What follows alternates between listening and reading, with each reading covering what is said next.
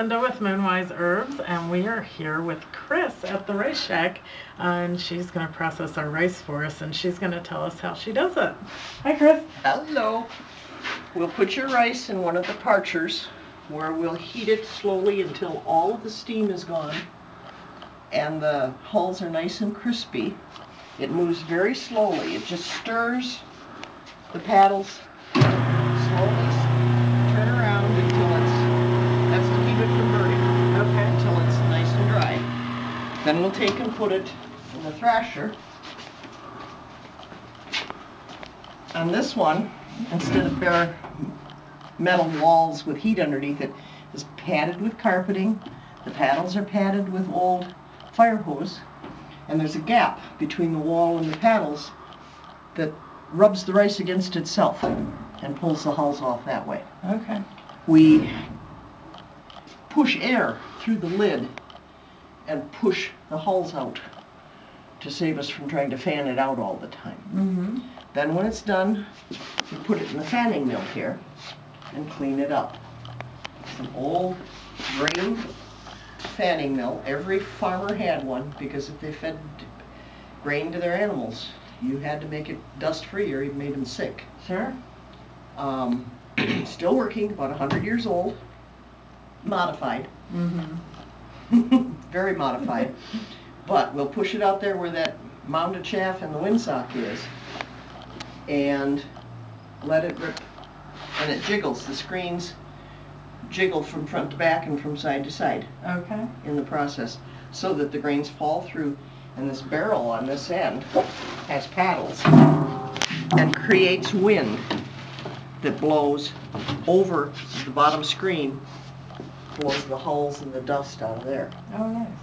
And then we'll bag it up and we'll put it in our vaults to keep it safe until you come pick it up. Okay. That's it. And how long does the whole process take? It can take anywhere from about an hour, hour and a half Okay. per batch, Okay. And you said that that's depending on the rice. de- depending on how well. Eh, Every, every lake is different. Um, the thrasher here can take anywhere from five minutes to thirty-five minutes, depending on how tight and thick the hull is. Because that rice, over many millennium, has evolved to survive in that body of water.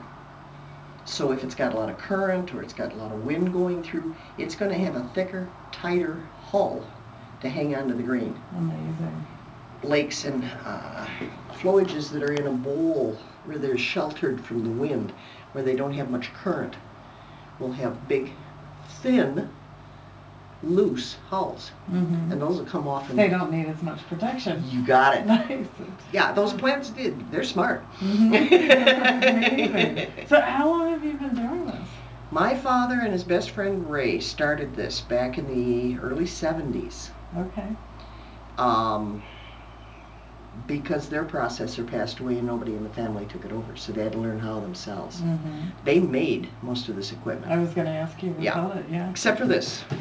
That's, Okay. that's was a find. Uh-huh. Um, after Dad had his first heart attack, I started helping out. And as he got more ill, I took over more and more. When Ray got sick, Paul, his son, uh, youngest son, started helping too. And since we grew up across the river from each other, he's more like my little brother than anything else anyway. Okay. So uh, he inherited his half, and I inherited my half Mhm. from our par- from our fathers. Uh, I would say I've been doing this for well over 20 years. Oh, wow. Same with Paul, Okay. a few years shy of that. The vaults are dead refrigerators. They're not going by any means, but they have. Everybody's got their own rice back. We keep very good track of that. We do a little trade too. But you can see all the different kinds, how dark some are, how light some are. And the smell. Mmm, yeah. Smells like rice. so that's where we keep it until you come and get it. What keeps you going with this? Um, the people. The people. uh-huh. Um, it's not only fun to do Mhm. for somebody. Uh, the great smell when that first kettle goes off in the morning. It smells like this Right. Well, this smell is all day amazing. long. All day long. you gotta find a chemist who turns this into perfume, and they'll make a killing up here. They'll make a killing. so you really enjoy interacting Yeah. with the people, and you're maintaining a tradition. That too, That's really you know. But ricers are generally nice people. Mm-hmm. Every walk of life, Sure. from the hermit to the CEO, and everything in between. Uh huh. You know. Once they get hooked on the real thing, Right. it's well, I had an addiction. I had only had patty rice, and I thought, what is the Oh, big deal? thing. I know I couldn't stand. Oh, you poor I couldn't. I thought wild rice was horrible, and then I had this, and that. So Hooked for life. Exactly. Exactly. Nice. Yeah. Let's take a look over here. Oh, the encyclopedia. What do we have here? Okay. Every lake processes differently. Uh, we can tell the characteristics by the size and shape of the hulls, how long the beards are, how thick the hulls are, the size of the grain. Now, the rice you brought us today, we've never done before, so we're going to have to compare it to this one to get some idea of how long to thrash it, how long it's going to take to thrash out. So you'll look at it and compare. it? Compare, yeah, Uh-huh. take one out, and look at it, take it apart, that sort of Okay. thing. Nice. But um, every lake is different. You've got itty bitty stuff like this from the Neshkoro, which there's grass seed that's bigger than that, I swear. Um, Togatik, our bear, where's Togatik? Here you go.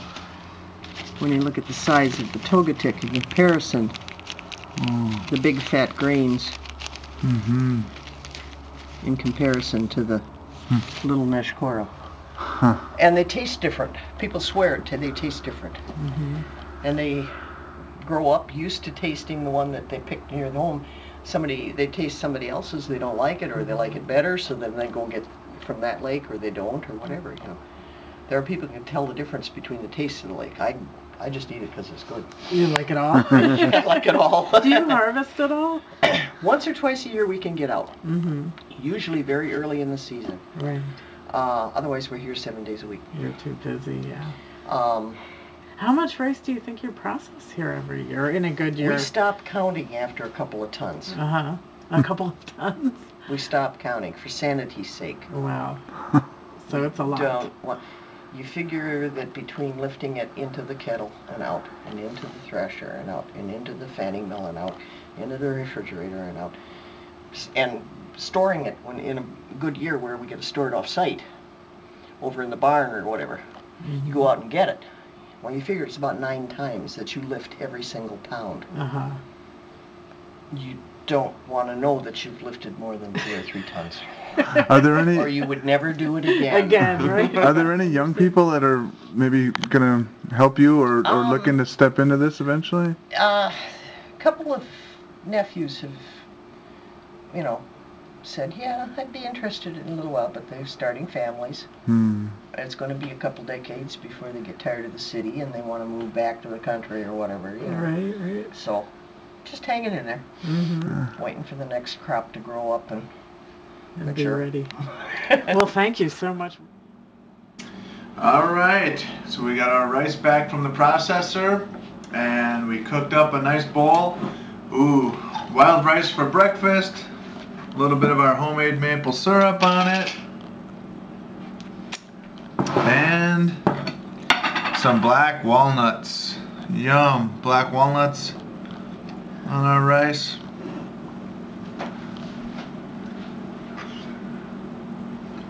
Yum.